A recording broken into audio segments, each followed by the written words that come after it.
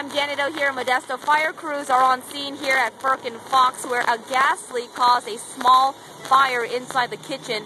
One employee has been taken to the hospital to be checked out, but he is okay at this time, no burn injuries. Firkin Fox will be closed for the rest of the day while they check out the situation.